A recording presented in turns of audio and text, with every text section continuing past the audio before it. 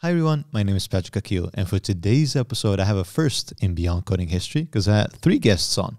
They're all software engineers over at Bol.com and really excited about the Go programming language, which is exactly what we covered this episode. Hannes de Jager, Goos van den Bekerom, and Kevin van den Broek. I'll put the links to their socials in the description below, and with that being said, enjoy the episode.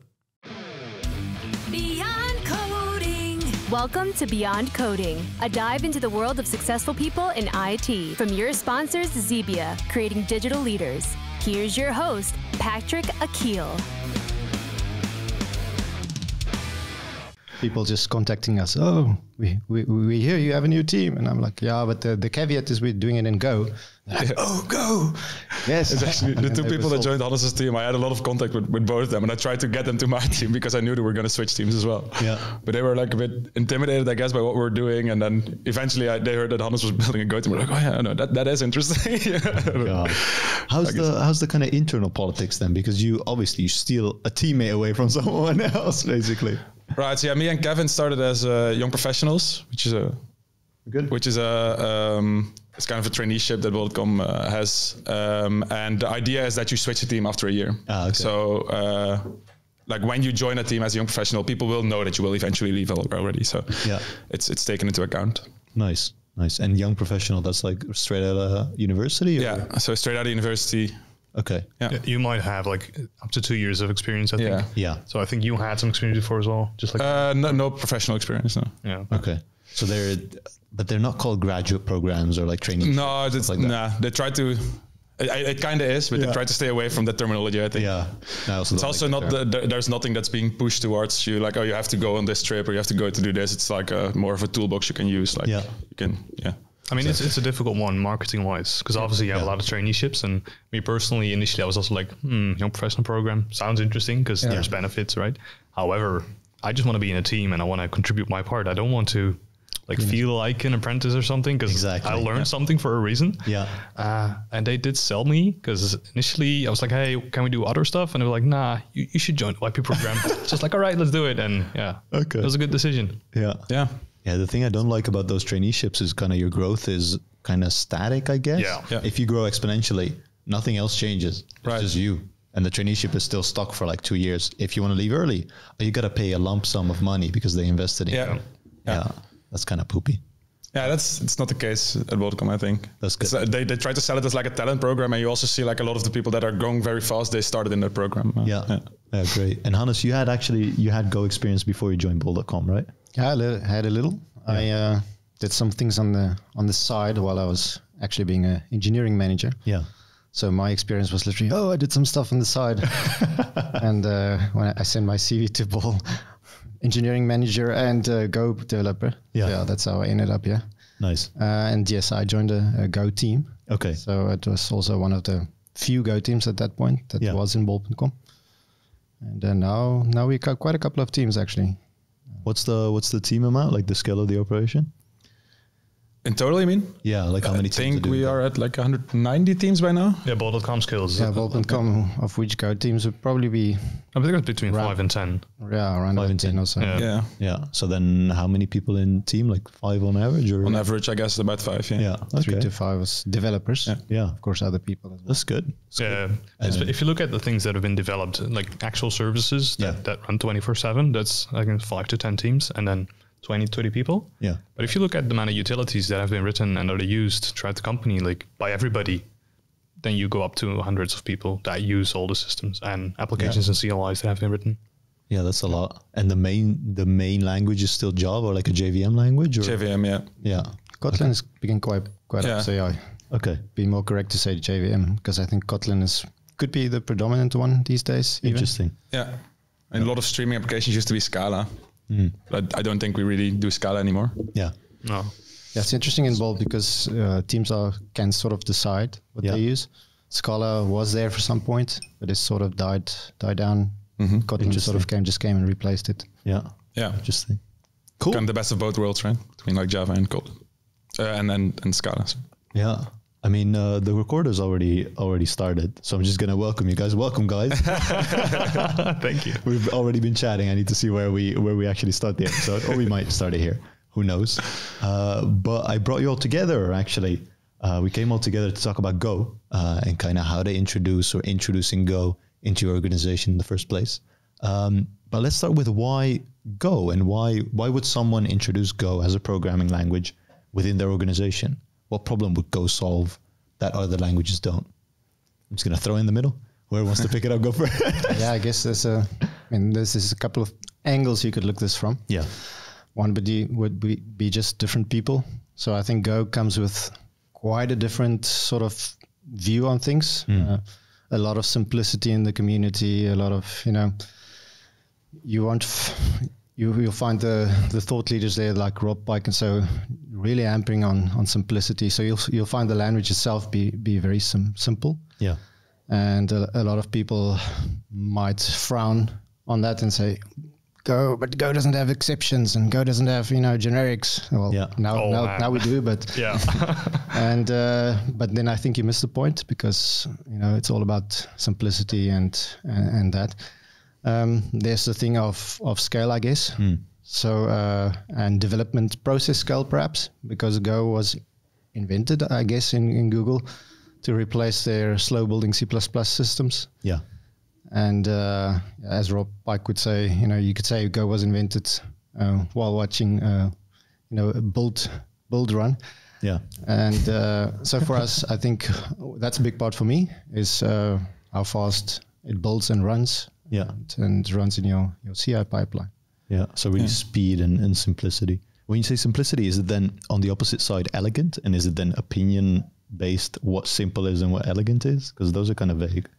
I think simple as in um, it fits in your head, mm. a bit more like C, but also um, not not a lot of abstractions. So yeah. the language itself, for instance, doesn't have implementation inheritance. Yeah, only interface inheritance, uh, which people will also frown, frown on. Yeah. Uh, you know, a lot of people overuse uh, inheritance as well. Mm. But I think that's part of the power of Go. You can sort of read the code and, and understand, and you can throw it at young developers, I guess, inexperienced yeah. ones, and uh, it should be okay.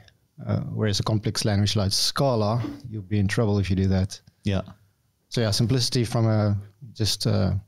I mean, if, if I think from an engineering manager's perspective, and I want healthy teams, Go is a is a good starting point. I think. Uh, yeah. Yeah, and it's interesting when you said simple because I guess one of the things that's also really important within Go is the um, you prepare for the reader over the writer. Yeah. So while writing code, you might write more code. It might take a bit longer, but that does come with the benefit that the reader has a better time or easier time to just go over it, right? Yeah. Exactly. I, I love reading Go code if it's clean, right? I, I hear a lot of people saying on oh, Go you can only do it one way. I don't think that's true. You can still do a, a lot of nasty stuff. Yeah. Uh, but a good readable Go code is just easy to browse through. You see what happens. Um, compared to other languages, I, I felt like, I mean, Goos, how you came from Kotlin, and right. Kevin always says you're more of a fan of Kotlin back in the day. Yeah, I mean, I, am still a fan of like the, I guess the whole the whole streaming API that you have and the yeah, the readability, I guess, of the code. But then I, I think now that I've been doing Go for one and a half year, I, I don't think the readability is is as good anymore because I feel like Go code reads nicer. Yeah, it's it's simpler and what, what you said that that there is like one way to do it. I guess there is one best way, but is that a bad thing? You know, like yeah. at least everybody writes it in the same way, so it's it's yeah. readable.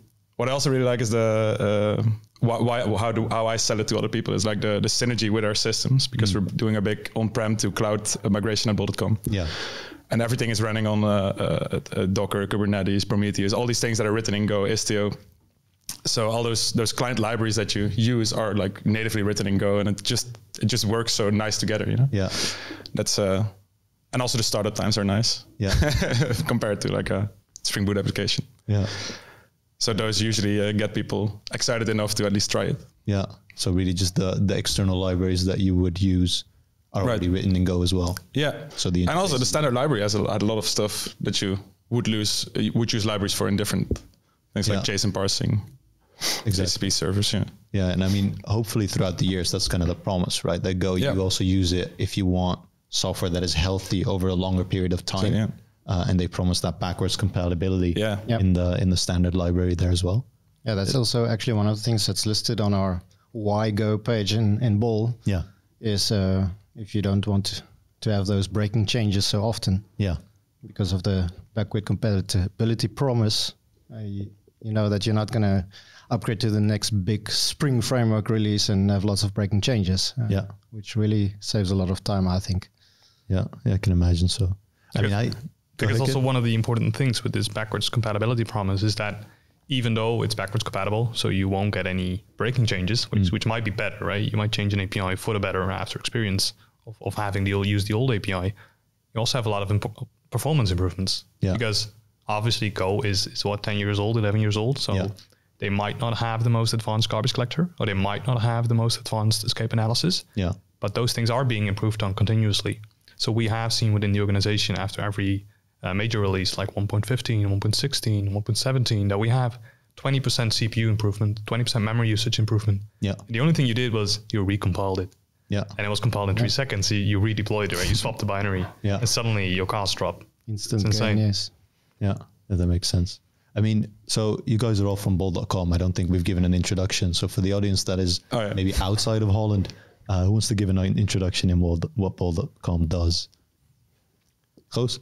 Oh yeah, sure. I mean, Kevin points at you. uh, so bol.com uh, used to be a big web shop, and we are moving towards being a big retail tech platform. Yeah. Um, I guess from outside the Netherlands, you could compare it to something like uh, uh what Amazon does. Yeah. Um, but locally okay. in the Netherlands, Belgium, and the French part of Belgium. Yeah. yeah. And if we talk about the scale of the operations. Uh, just over 100 million products. I think yeah. about 50 million partners now that, that sell products on our platform. 50,000, uh, yeah. 50,000, what 50, did I say? 50, 50 million. Oh, 50,000, sorry, not 50 Every two products has got a partner. okay, it's not that much. uh, we are working with just over a thousand engineers now, I think. Yeah. Uh, yeah, I think those are the important numbers. Yeah, I, I love the stats in, in yeah. synopsis that way. yeah, I get that. And at bol.com, you, you told me before the show you have about five teams working on Go as well? Uh, yeah. Like yeah, it's been scaling up over the past years. Yeah. Uh, but now we're about five. And also uh, the, the, the biggest part of our uh, landscape, like the, the, the web shop part, they're slowly uh, adopting as well in a new layer. Yeah. So it's getting some more. Uh, and are they are they friction. adopting it also because of the simplicity and kind of synergy with the applications that you're using? Uh, I, I, think that's the reason I haven't really spoken to them. Yeah, so um, if you look at the webshop part where they're trying to introduce Go, it's um, they're basically rewriting it in a big way with yeah. the simple shop where they will use GraphQL predominantly. And you can imagine, right, at the scale that we're at, we'll have a lot of services that are either a bit more legacy, that don't don't have a lot of uh, improvements or innovation anymore. Yeah. But they still need to be uh, in this GraphQL API. Yeah. So what they're trying to do is to have a sort of an adapter in front of those systems that aren't able to include the GraphQL server natively in it. And this is where Go makes it quite easy, right? You have a simple binary. Uh, it does not use a lot of resources, and it's straightforward to develop over yet another complete application that's over it. Yeah, yeah, that makes sense. Did you all? So I started with Go as kind of my first programming language, more in the adult workspace. I did some PHP and some Python at university, uh, but Go is re- really where I started. First GitHub, you work on the back end. This is in Go. Okay, you push it. All that jazz was in Go, kind of the basics. Right. Uh, and for me, it was it was pretty simple to pick up because there's not a lot of complexity there. Right. Uh, I can only do so much, and then Go routines, for example, and channels uh, I just pushed that back. So I got the basics down first, and yeah. then you actually dive into those were kind of the only advanced topics there. I mean, testing, but testing is is fairly easy once you get the hang of it as well. Now you have generics and more fuzzy testing stuff like that. Uh, but for me, it was very simple to pick up, very simple to understand what yep. other people are actually doing, um, and actually focus on solving the problems, right? right? Because the technical tools that we choose, even the programming languages, they all should solve the problem that's why I think it's interesting you say elegance versus simplicity because elegance to me is very opinionated. What is elegant for you might be elegant or not elegant for exactly. me. And I think that's also what Go in a way solved is you know you know our developers can sometimes you know go on and on about should I put the bracket here you know is this really elegant, elegant or this and yeah. uh, Go came out those days with the Go format yeah and it just sort of solved that whole thing. Yeah, you just format your code and you don't talk about that, and exactly talk about the more important things. Uh, I think the only downside with gofmt, which you're talking about, is that nobody loves it, mm. right? Everybody loves it, but nobody loves it because right. it's opinionated. Yeah. That's the beauty, right? You don't have a discussion. You just use gofmt, even if you hate it. yeah. yeah, that's it. Yeah, but then still, so I've I've been a bit more online since doing this podcast, a bit more on Twitter, and for me, that's two camps, right? People that hate Go don't like it, don't like the error handling, don't like the garbage collection, have a lot of stuff going against it, or people that love it, love the elegance or simplicity and see the elegance in there. Yeah. Uh, love the readability, maintainability, longevity, stuff like that. There's there's hardly any middle ground. What do you what do you think would be kind of reasons against Go in that aspect? Yeah, aspect? I think I mean if, if I take a typical Spring application, Yeah. what what I don't like about it is that I have this big framework, Hmm. and I guess I'm a, I'm I'm someone that likes to understand what's going on under Yeah. the hood, and it's very opaque. And yes, it's easy to to build a prototype, but if you run it in production and something goes wrong, then you really have to understand quite a lot of things, Yeah. and then it becomes complex. So. On, on on the first entry, it seems very easy. Oh, I can just build this and this and this, and it's really easy. And I just add this annotation, and go. You, you really have to go code that.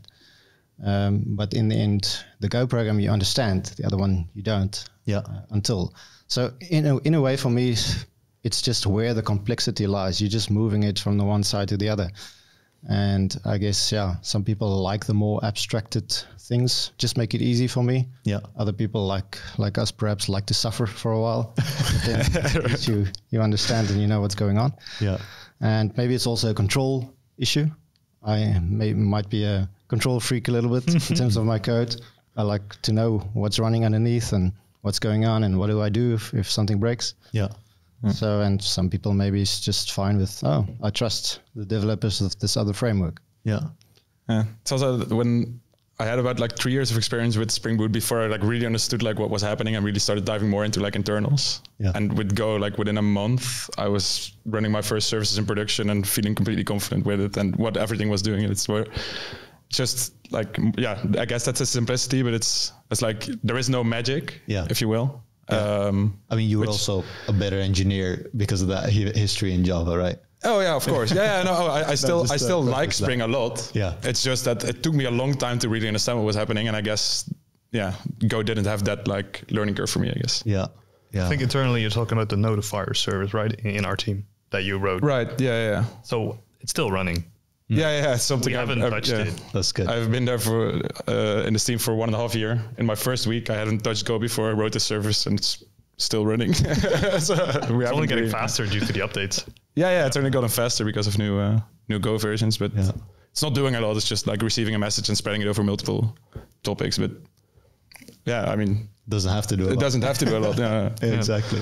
I, Yeah, I think there's also a efficiency efficiency thing here at play. Some people just like more efficient things. I think, perhaps uh, more prone to premature optimization as well. But uh, I like the fact that I can run a, a, a Go app and it consumes 20, 20, 20 megabytes of memory. Yeah. Versus if you have to run a, a Java JVM, you're already in the gigabytes. Yeah. Well, not re- well, depends. At least for your image size and, and these kind of things. So, I mean, doesn't really matter. But for me, it's just still nice to Yeah. the lightweightness of it. I mean, at some point it matters, right? Because you have cloud costs and you pay for what you use. So all of a sudden, if you use more memory, you also end up paying more down the line. Yeah, especially also if, if you have systems like in Bol, we have also a platform team that develops you know uh, systems for for all the teams. Yeah. And if you have a heavy system that adds a little bit for every team, Yeah. then then it really matters because uh, you can save a lot of money actually. Yeah. If we drill down to one of the language specifics, which, for example, it's either error handling, which I see people hate or love, or people say, oh, the garbage collection is garbage, right? Rust does it way better. That's usually the comparison is to the fastest one that it has, and that is Rust. You can tweak whatever knot and screw that you want, and then all of a sudden Go looks worse in comparison. Um, Yeah. so Rust is an interesting one there because it speaks to some of those things, but it's I, I think the learning curve of Rust is really tough. I've heard that, yeah. Or or it takes you. I mean, if you compare Go, you'll be productive probably within a week. Yeah. Whereas uh, with Rust, uh, you fight with a borrow checker for, for a couple of months, Oh, no. and if you survive, you know, if your self-esteem survives it, then you then you start to love Rust. yeah. Uh, and then it really works for you because it's a really powerful language. And in that sense, Rust is very complex, but very efficient again. Yeah. is that one step extra towards the efficiency? Yeah. so uh, in that way, I wouldn't recommend, for instance, Rust to everyone, except you really, if you really want to have a performance system. Yeah. So there is a use case in Bol.com, for instance, where Uh, we write a s- rewrote a service in the recommendations uh, system area, Yeah. And uh, the developer there claims 100x improvement in speed for Mm. loading some AI models or something. Can't always confirm, but uh, I can imagine that it can be true Yeah. because you have no garbage collection and these things. So I think Go, in that sense, is nice. It's easy to learn. It's more efficient, probably for most things uh, than Java, Yeah. but uh, it still has the garbage collector that makes it easy for you. And uh, it's just a nice go-to language, I think. Yeah, yeah. I don't know why. So I, I see more adoption, right? Also, both from developers as well as organizations. But if you lay out the things that I mean, we just spoke about. If I build a piece of software, what like five years ago, and it's still running, and it only gets efficient, more efficient by updating it, uh, I don't have any troubles. People can come in a team and be productive within a week, right? No month onboarding just because of the language. Um, only maybe organizational specifics, but those are hard to absolve then Go seems like a pretty good choice from an organization standpoint, no? Yeah, I think in, in theory it, it looks very nice, but Yeah. if you look at say, say you've got for example within Bol.com we've got Mm. the Alpha Highway, um, they are working on it heavily to make it event driven. Yeah. They've asked me, uh, hey, do you want to join? But I I don't know. I really wanted to go. Uh, a lot of reasons, obviously. Yeah. So I looked at it and I was like, hey, I wanted to go, but I don't think it's a good idea to now introduce Go while we're rewriting a system within that part of the organization because you've got five teams. They're all very good in, in the JVM world. So why take that away? Right? You, you still have business value to deliver to the users. Then making a technological choice because you like such a language or you want something from your own game might not be so good. But I think that holds to every language. Yeah, I agree. I, I fully agree that that is an issue that every language Yeah. has, right? It shouldn't be, oh, I want to use Go. So let's use Go in the existing, Yeah. like 30 people that already do that. Yeah, no, then you get like a mishmash of technologies and then you have way too much overhead, right? It's hard to be effective when that Yeah. when that overhead is there. The funny thing is though that within that side of the organization, Go still popped up. Yeah. So I've been talking to a couple of those engineers, and they said, "Hey, uh, we had to write a load testing tool. It, it just had to do some load testing, so we wrote it in Go. Yeah. And while we're at it, we also wrote it in Java to compare. Okay. so Go still slips in, even though I wasn't there trying to push it. Yeah. Uh, it still happened. Did, just- you did you see people win- talking. Did Go win the contest there? Um, I think it depends on what you see as winning. So they both achieved the same output because it was about publishing messages to a topic. Yeah. But right, if if the one is being built in a day and the other one is built in two days, and they have the same output, which one wins? Yeah. If the one uses 200 megabytes of RAM and the other 100, which one wins? I think it's it's difficult to compare them fact to fact. Yeah. Yeah. I think because a lot of systems are already, let's say, let's give the JVM example. If a lot of systems are already built in JVM languages, companies will still hire for JVM developers. Yeah, for right? sure. Yeah. So then, how do you, even as a new programming language, how do you fit in between? Is it kind of uh, by solving those isolated problems a, a bit differently and then comparing it and maybe making that extra step and implementing it in a different language, I guess? I think if you really want to make a point, you'd have to compare apples to apples. So. Yeah, that right. would be completely rewriting one application and, and finding the axes that you want to compare them to. Yeah. Um, I think if you look at Bol.com, the way it started to manifest itself is with the smaller things, right? We have uh, systems that run in the cloud and on-prem, and we need to access those from our machines. So, Yeah. of course, you have user authentication. People didn't want to constantly copy their tokens and put them into their headers, so somebody wrote a script. They call it Proxer. Um, the guy left. I'm now the maintainer of it with uh, with another engineer, Thomas. But everybody uses Proxer. Nobody knows it's Go, but everybody uses it and it works. Yeah. Right? It's simple to distribute. It's on homebrew and everything. So that way it goes into the organization. Yeah. And then somebody sees it, they want to contribute. Hey, it's in Go, and then it takes another. It takes life on its own, and, and more tools pop up. Yeah, yeah, but it, it'll never be fast, right? It's that's a very slow burn of kind of uh, Yeah, more and more definitely. people excited. Yeah, Yeah. So I don't. I also don't think if you look at the way Go has been going in Bol.com, Yeah. it has been going slow in the beginning. Hmm. But as more people come and more people see, and, and you get certain people that are really into talking about it, because of course you need the right people for that. yeah, It, it really goes like sky high. Yeah, we've seen we've seen quite a bit of momentum Yeah. change in the recent couple of months. Could also be well, would also be because we we started an initiative called Torque, hmm. which is then we don't want to call it a framework, but it's it's a toolkit in, in Go. yeah, we want want to tread towards the light lightweightness yeah, side more, uh, but that helps people to to bootstrap uh, getting a service up. Because Okay. I mean, even with Go and its simplicity, it takes it still takes quite a couple of days to get a service in the cloud, right? There's Yeah. a, kind of, a lot of stuff that you have to bootstrap. That's not really interesting. Maybe it's interesting the first time, but after that, you know, it's just work. Yeah. Um, so uh, Torque's aim is to get people in the cloud quickly, and they don't want to think too much about how, how do you set it up. Um, I just want to run my service and then build the business logic. So I think that also added a lot of momentum. Mm. Um, and I wanted to say uh, with with Proxer is, is of course also a very uh, example of where Go shines because Proxer is a command line tool. Yeah. And Go, the nice thing about Go is it compiles to to a static binary, right? Yeah. Everything is included, no no external C library. Um, so it's really simple to deploy. You can literally just send someone the file and they just run the tool. Yeah. Uh, so I think if we're talking about why Go in an organization, if you're going to write command line tools to make developers' lives easier, it must be in Go. I think. Yeah. Um, you could say yes. You can also write it in, in Rust, but even even that with Rust is not as easy because yes, you can compile with a musl C library, and then you also have a static library, but then you have to go do all that work. Yeah. With Go, it's just default, and it cross compiles um, to to a number of platforms, all the ones that you would expect, and it's just really easy. Yeah. I think also the cross compilation and the ease of cross compilation is one of the, bene- the, bon- the benefits because we recently started adopting the new ARM based MacBooks of Bol.com and I got a hold of one. So then I started to compile our code, our services. That worked. But when I started to compile it and put it on Kubernetes, which runs on a different uh, architecture, it didn't. And Yeah. the only thing I had to do was change an environment variable. Then it worked. We like the funny thing is is that everything was already prepared in the systems that we used because it's the GOARCH environment variable Yeah. but it didn't work. So I was super confused. I was like, hey, we've set up this cross compilation. I've got a different architecture. Why is it not cross compiling?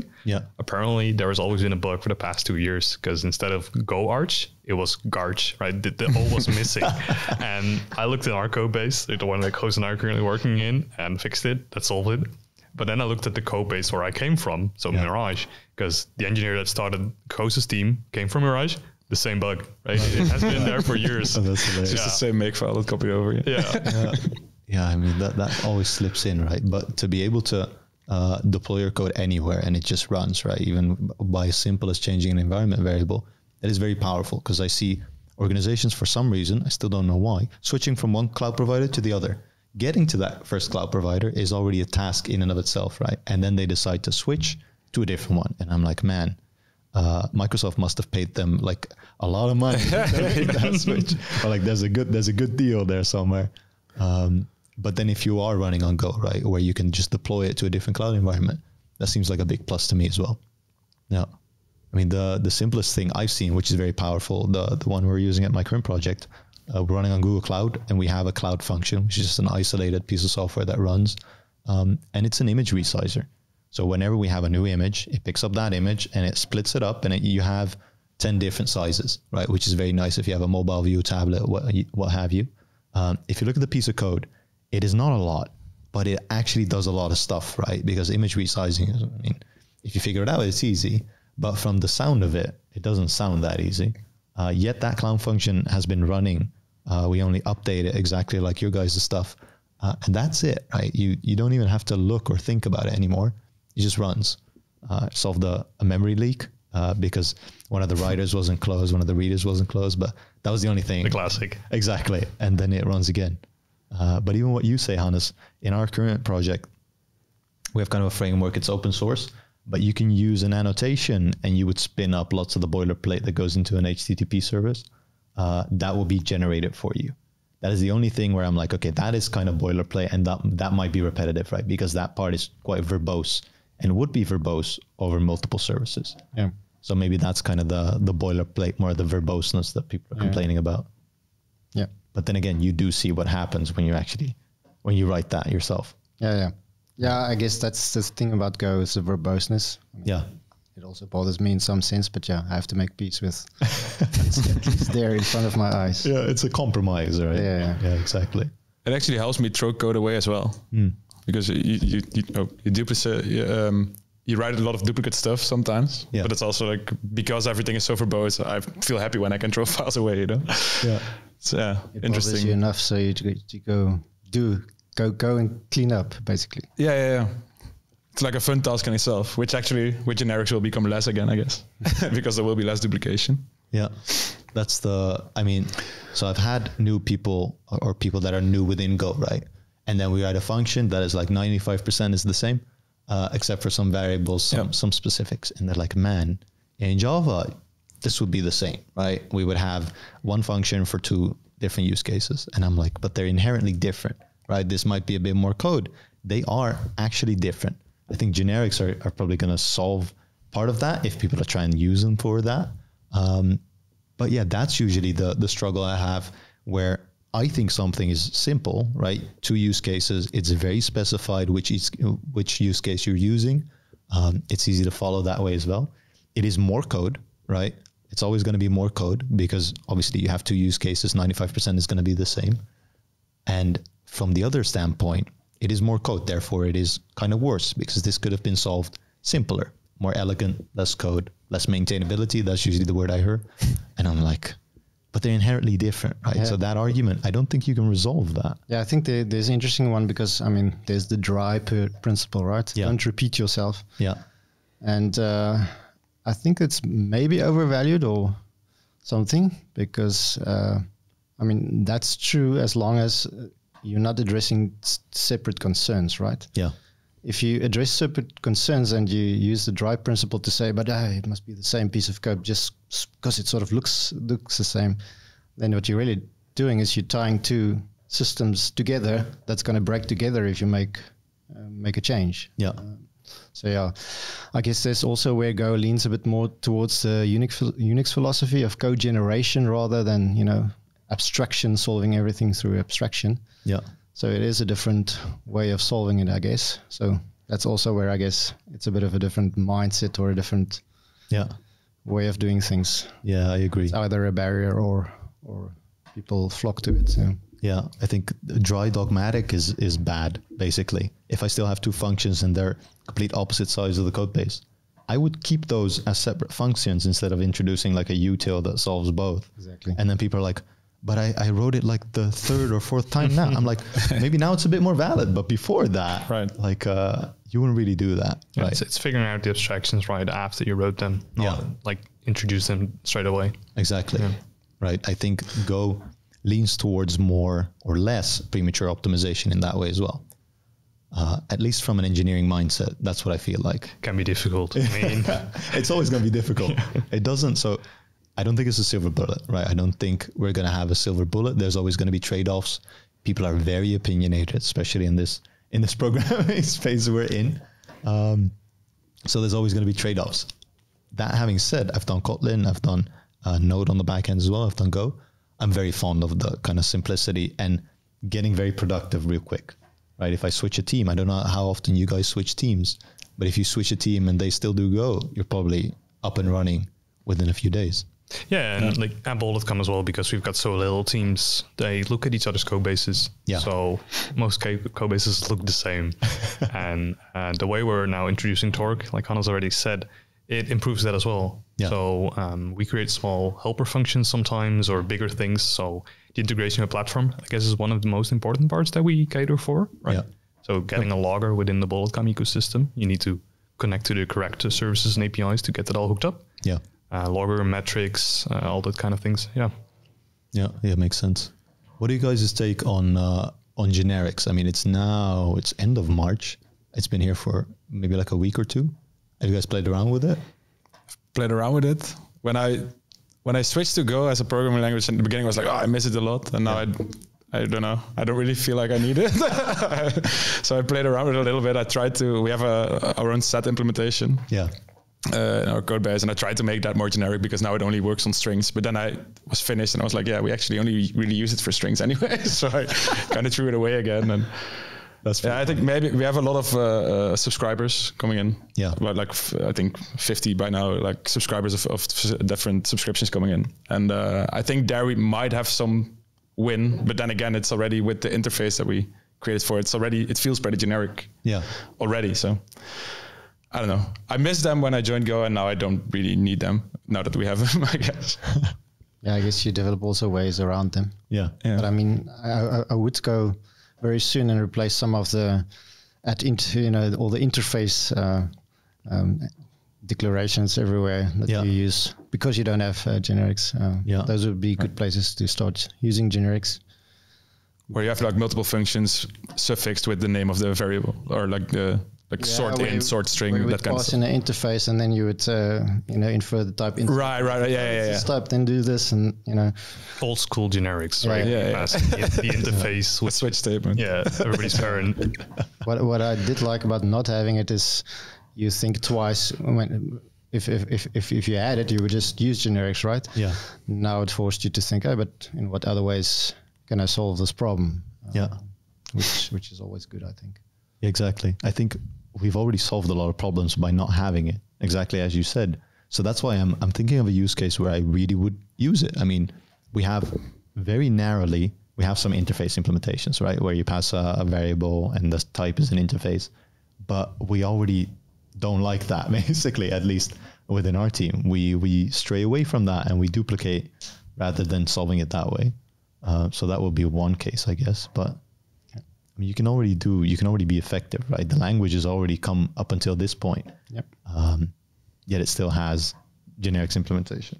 Yeah, but, but if you look at it, right? So besides, like I'm very hyped about generics mm. because it is, of course, very valuable to have in a in a bigger language. Yeah. The way they went about it is just fascinating to me because mm. it's not like generics was built in a year. It's not like two years. I think it was it was already five years in the running. Took a while, yeah. Yeah, but a- along the whole path, they've made multiple proposals. The whole community is involved in those proposals, right? They either Yeah. reject it or they have ideas about it. But the creator of, I think, at least one of the main creators of the JVM generics contributed to the Go generics. Hmm. And they wrote their own program to validate generics work in Go. I think it was Featherweight or something like that. Okay. Like the whole idea that you create another language to prove generics works in this language backwards compatible because they first wanted to do it in Go to the dough, so we'll break everything that already existed. Yeah. That- It's just fascinating. I mean, Yeah. from an engineering point, when we develop code within our organization, you only have such a blast radius within the organization. Yeah. If you do it just just globally, like, I mean, like, like on even, it's it's a, it's pretty good of an achievement. It's amazing. Yeah. Yeah. I mean, it- it's really taking that promise of backwards compatibility and really taking that step extra, Yeah. right? Really just resolving those developer issues because those issues, if they arise within a language, those are developer issues, basically. They're not necessarily organizational issues. The organization benefits from those upgrades, sure. Uh, but those are real technical issues for developers to, to resolve, right? If you say to your product owner, listen, uh, we haven't done any updates, so this sprint is only going to be updates, and we expect we need to rewrite some code. They'd be like, "What the heck? Why? First of all, why haven't we done the updates? And why would it take long to rewrite a lot of stuff? Right? That just sucks. Yep. So if you don't have that and, and can really just focus on delivering value, because that I think that is still at least what my main driver is, or one of them, is delivering value for whatever I'm doing. Yeah. Um, it'd be awesome if that's not there.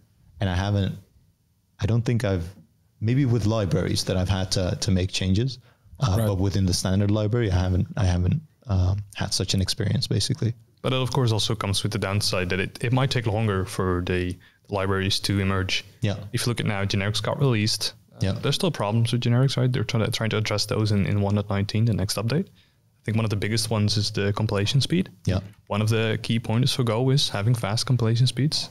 Our code bases, like up to 100,000 lines of code, take a couple seconds to compile. Yeah. With Go 1.18, which has the generics, it does take 30% longer, like Yeah. we timed it. Is it bad? No, because four seconds still doesn't really break the bank, but it is something and they still want to improve it. Yeah. And if you look at the code side of things, generics, of course, are very useful for uh, collections. Go always had a, a map with interfaces. So you do have the option to use it with every type you have in the code base, but it's not static. Sure. The packages that they're creating for slices and maps, they're in the experimental level of the standard library. So you can use them now, but they're bound to change because they first want to figure out what works for the developers on the other side of the building, right? So outside of Google. um, that's interesting. And you can you can look all of these things up in GitHub and just comment about it and learn from it. Yeah. So that's what I mostly do. I just follow these proposals, try to read what they're doing, and it's interesting. Yeah. Especially because sometimes it doesn't have stuff like memory arenas, something that was recently uh, brought up. It's just interesting to read what they're doing because they're very in depth because they're forced to because it's all public, right? Yeah. Exactly. And not every developer has to deal with it, right? Oh. They are creating language. They probably deal with these very niche kind of topics. But it's awesome that, I mean, from an outside point of view, you can really just take a look inside the kitchen, right? Uh, see what everyone's cooking up, see what everyone's kind of monstrosity they're creating or discussing, even. Uh, and what might end up on your plate might be beautiful, but you can actually see how it happened, Yep. uh, which is great.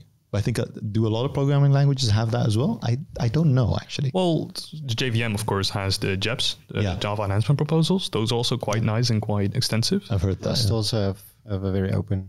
Which one? Uh, Rust also. Yeah. Is the Rust compiler open source? Yeah. That's dope. I think in general that's just really cool Yeah. that it's uh, all the information's out there, nothing's behind closed doors. Yeah.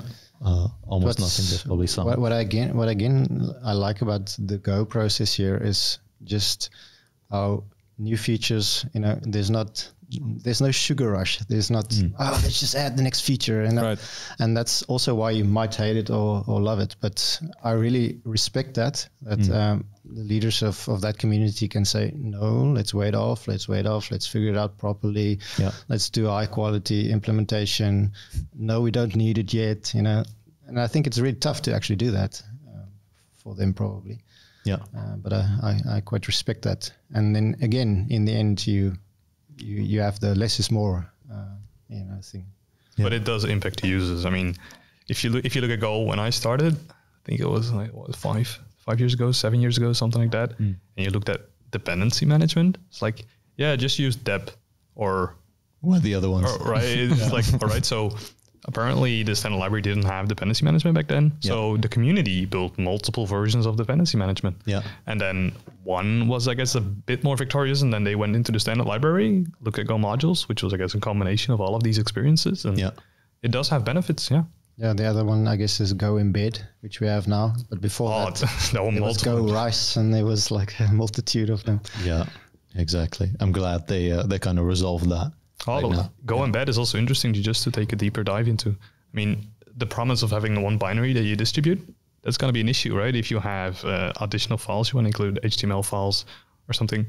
Go embed does make it nice where you just say go embed, which is just one of the directives from the Go compiler and the Go language itself, and it embeds it into the binary. And Yeah. If we look at if we look at hiring, so if I would introduce a new a new language within an organization, one of the questions is going to be hiring, right? Uh, if no one can maintain whatever my team or me, uh, whatever we're writing, um, then it's kind of useless, right? Because then you have a huge dependency on the people that you have. Um, therefore, the languages that we use, we should also be able to hire for, basically. Yep. I really love that we stated um, that Go is easy to learn. Uh, would you also hire someone that doesn't have Go skills necessarily, but obviously it's open to learn it? Yeah, I would definitely do that, and I have done that in the past. Yeah. in my engineering manager capacity. In fact, at that stage, I was working for a company in South Africa called Intersect, and we were hiring Java developers. But I went went and looked for C developers that would do Java Yeah. because you know that they think more of efficiency and the lower level things. And at some point, we also switched to to Go in that environment. Yeah. So I, I, th- I think, I mean, for for for engineering managers, I think we need to think a little bit differently there Yeah. because we we tend to hire Java developers for a Java role, but we should hire good engineers, right? Yeah. We should find good engineers and ask them what they want to do, and we should make sure that we don't introduce languages that are going to be deprecated in five years from now, or that no one will pay for. Yeah. then developers will also leave. But I mean, you're quite safe with something that's sim- simple to learn and that is supported by someone like Google. Um, you can have uh, developers in the future. So Yeah. I think there's a culture thing also at play, because I have also heard that you know people don't want to do Go. We have good engineers, but they don't want to do Go. They want to stick to the to to their technology, which is fair, right? I mean, yeah. which which could also be fair. Yeah. But maybe if, if, if you if you're gonna have you know a couple of languages in your organization, maybe you should think of that up front and get more more at least a quorum of people that would be willing to switch quite easily. Yeah. And Exactly. there are definitely those people. Yeah, I think that a lot of the the techniques or the the practices that you learn within a certain language hopefully they're transferable, right? Most of the time they are, uh, unless it's very specific for uh, for language there. Uh, but I like that from a hiring perspe- perspective. Just hire good engineers, right? Whatever language they should use, whatever tool they pick up from their toolbox shouldn't necessarily matter. Uh, or they can learn, for example, how to use a drill. Uh, I mean, Exactly. taught yourself something as well. Yeah. Yeah. Yeah, I I think that that's also important because we also tend to speak of, oh, this is a Go team and this is perhaps a Kotlin team, but Yeah. I think that kind of thinking is perhaps also wrong Yeah. because in your problem space, you you should look at the problem and say, okay, JVM is just the best for this. There's a big ecosystem for this. Uh, it's already solved ten thousand times. Let's just use it, right? Yeah. But then you might also have this service that's really simple. It's going to just do nothing. Just use Go because it's going to be a low memory footprint and it's not going to cost a lot. Or there might be the efficiency one that you really have to push it, and then you should use Rust or something. Yeah. Uh, I mean, you don't want 20 languages in the same team, but I think you should at least have sort of, you know, a, a language, a go-to language for for certain kind of things. Do you want efficiency? Do you want compatibility? Or you know, what do you want? Uh, so you Yeah. For me it was also like a big moment of clarity at the time that I was looking for a new team that I don't I, I think even you you brought it up but like do I want to profile myself as a JVM engineer or as a software engineer you know? Yeah. and when I started thinking about it like that I was like yeah maybe you know Was that the convincing yeah, argument? yeah, that- that- I had that- a I whole think- repertoire of arguments. yeah yeah I, I think that was for me when I really started thinking about that question I was like yeah yeah I, I don't think I'm a JVM engineer you know I'm, Yeah. I think I'm a software engineer um, and apparently this problem is going to be solved with Go so Yeah. let's do it I wanted to solve the problem as well Exactly. and we're still doing it Yeah, I mean, even if you take a step beyond that, right? You already have positions like front end engineer, back end Right. engineer, very technology focused. Yeah. Within back end, you have JVM, Go, what what have you. Um, I think it's more centralizing towards just good engineer, good engineering culture, good engineering mindset. Being able to pick up a tool and uh, teach yourself how to use it, or be able to resolve it within a team, right? Because I'm better at certain stuff, you're better at certain stuff. We should just be able to figure it out. Um, and I think if if we make a switch within hiring, the mindset will also change within either teams uh, or the people that are applying. Yep. That's what I'm hoping, at least, because it's just it's sad to be labeled or categorized within a certain technology. Exactly, yeah. right? yeah. Yeah. You wouldn't want that to have like an Excel analyst or a, I don't even know what other stuff you have. and we're all YAML engineers anyway now so. Platform is YAML engineering, isn't it? Yeah, so it's a bit broader than that. But I completely agree with that. That's uh, that's hard. It's a nice bridge, right, to what are the downsides and benefits of introducing Go to your organization. Yeah. I mean, if you look at hiring, um, I do one of the parts of hiring with Go, you do one of it, and I think we have one other engineer. Yeah, That means we have thr three Go engineers that hire for the Go community. yeah. Uh, I see Hannes a lot when we're looking for team members. Okay. Can be busy. Yes. yes, because we are the, you're the only one as a Go engineer that is quote unquote capable of doing these these hiring procedures with Yeah. the Go language. So yeah, that that does have strain as well. Like if you only have three people, you can only do so many interviews a week. Yeah. So it will have some time. Yeah. Yep. I mean, you're always going to trust the person that you're hiring, right? At, as long as, I mean, you can grill them for hours. At some point, you're either going to make a decision. It's going to be a yes or no. Yeah. And the yes comes with some amount of trust. They can gain more trust by having a longer interview process, more conversation, stuff like that. But at the end, you need, you need to trust their mindset. They need to be able to pick up Go. Either they know it or they don't uh, and run away with it.